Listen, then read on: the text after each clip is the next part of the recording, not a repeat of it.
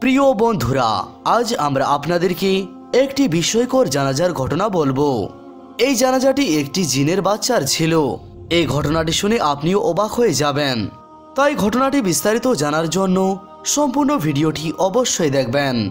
আর আমাদের চ্যানেলটিকে সাবস্ক্রাইব করে অল নোটিফিকেশনস ক্লিক করুন।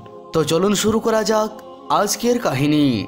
বন্ধুরা, অনেক পুরানা যুগের কথা।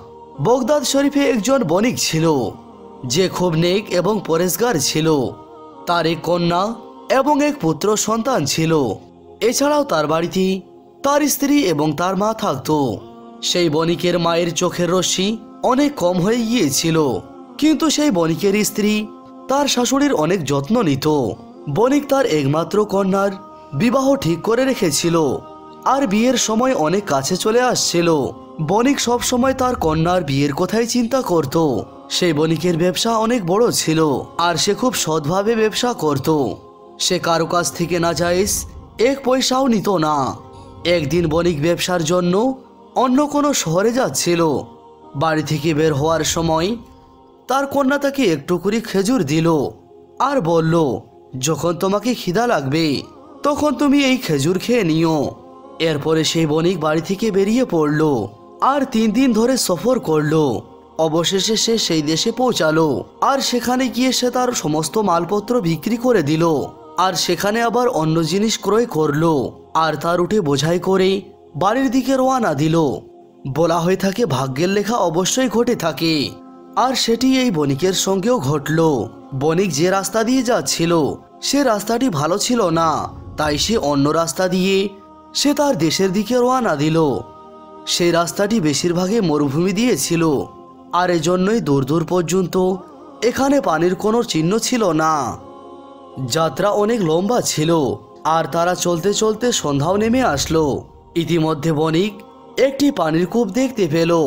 বণিক তার সঙ্গী সাথীদের বলল, এখন আমরা কিছুক্ষণ এখানেই অপেক্ষা করব। মরুভূমির সূর্য অস্ত যাওয়া দৃশ্য অনেক সুন্দর ছিল।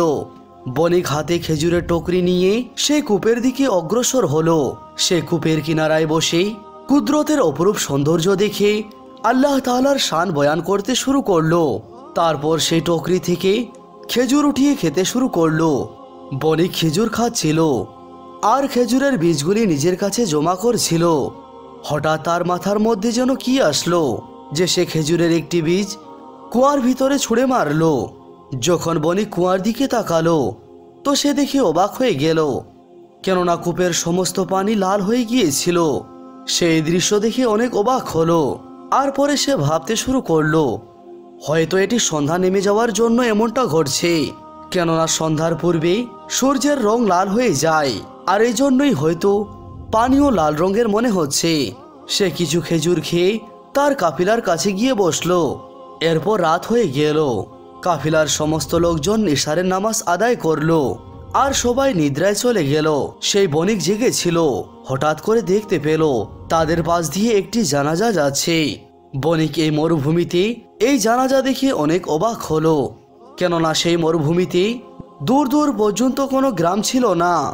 বণিক জানাজায় সামিল হওয়ার জন্য সেই জানাজার লোকজনদের পিছু পিছু হাঁটতে শুরু করল।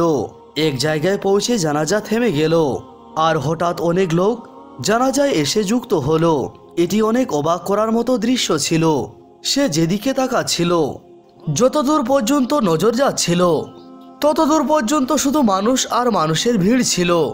বণিক অবাক হয়ে এই দৃশ্য দেখছিল আর ভাবছিল, জানাজার সঙ্গে তো এত লোক ছিল না। তাহলে হঠাৎ করে এতগুলি লোক কোথা থেকে চলে আসলো? ইতিমধ্যে ইমাম সাহেবও পৌঁছে গেল আর সে জানাজার নামাজ পড়ালো। এই মাইয়াতটি একটি বাচ্চার ছিল। জানাজার নামাজ পড়ে মাইয়াতের পিতা উচ্চ স্বরে বলতে লাগল, আদম জাতের খেজুরের বীজের আঘাতে আমার ছেলে মৃত্যুবরণ করেছে। আমার ছেলে তার মায়ের সঙ্গে সেই কূপের ভিতরে ছিল। এটি শুনে বণিকের এমন মনে হলো যেন তার পায়ের নিচের মাটি সরে গেল। ইতিমধ্যে তার সঙ্গে উপস্থিত মানুষের রূপধারী জিনগুলি হারিয়ে গেল। আর তার সঙ্গে সঙ্গে মাইয়া তো উধাও হয়ে গেল।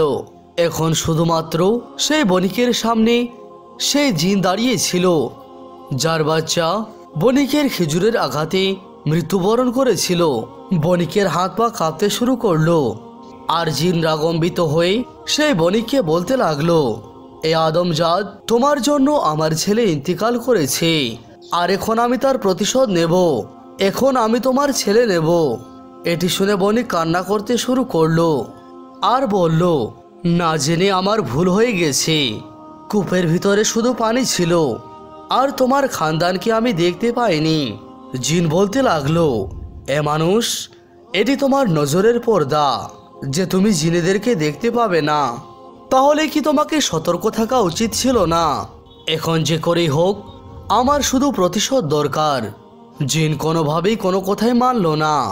অবশেষে সেই বণিক নিজের ছেলের জীবনের পরিবর্তে নিজের জীবন দিতে রাজি হলো আর বলল, তুমি আমাকে মেরে ফেলো।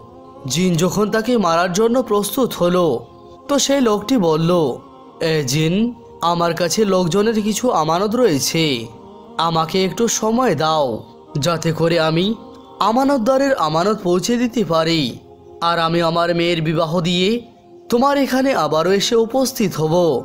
জিন এই কথা শুনে অনেক রেগে গেল। তো বণিক বলল আচ্ছা ঠিক আছে। যদি তুমি আমাকে মারতেই চাও, তাহলে আমাকে মেরে ফেলো। কিন্তু কেয়ামতের দিনে আমাকে এই আমানতের সম্বন্ধে প্রশ্ন করা হবে। সেই দিন আমি তোমাকে দোষী সাব্যস্ত করব। জিনে কথা শুনে থমকে গেল আর বলল, এ আদম জাতি, আমি তোমাকে চল্লিশ দিনের সময় দিচ্ছি। চল্লিশ দিনের সন্ধ্যায় এই কূপের কাছে চলে এসো। যেখানে তুমি আমার ছেলেকে হত্যা করেছিলে, না হলে আমি তোমার খানদানের কাউকে জীবিত রাখব না। বণিক আল্লাহ তাআলার কসম খেলো, আর জিনের সঙ্গে ওয়াদা করল যে সে চল্লিশ দিনের সন্ধ্যা হওয়ার পূর্বে এই কূপের কাছে এসে উপস্থিত হবে। এই ওয়াদা করার পর জিন তাকে সেখান থেকে যেতে দিল। বণিক যখন খুব কষ্ট করে তার কাফিলার কাছে পৌঁছালো, তো কাফিলার লোকজন জিজ্ঞাসা করল, জানাব, আপনি কোথায় হারিয়ে গিয়েছিলেন? আমরা আপনাকে অনেকবার ডাকাডাকি করলাম, কিন্তু আপনি তো একদিকে চলেই গেলেন। এটি শুনে বণিক চুপ থাকল। পরের দিন বণিক কাফিলার সঙ্গে শহরের দিকে রওনা দিল। যখন সে বাড়িতে পৌঁছালো, তো জিনের দেওয়ার সময় অনুযায়ী তার দশ দিন কেটে গেল। বণিক মনে মনে অনেক কান্না করছিল। খানদানের লোকজনদের সঙ্গে গোলামিলি সে অনেক কান্না করল। বণিকের এই অবস্থা দেখে বাড়ির লোকজন অনেক চিন্তিত ছিল। তারা ভাবছিল, এর পূর্বেও বণিক অনেকবার বাণিজ্য করার জন্য অন্য দেশের সফর করেছিল, কিন্তু এবার তার পরিস্থিতি এমন হয়েছে যেন সে কিছুদিনের আত্মীয়। পরের দিন বণিক একটি কবরস্থানের পাশ দিয়ে কোথাও যাচ্ছিল। ইতিমধ্যে সে সেখানে একজন সুফি বুজরুককে দেখতে পেলেন।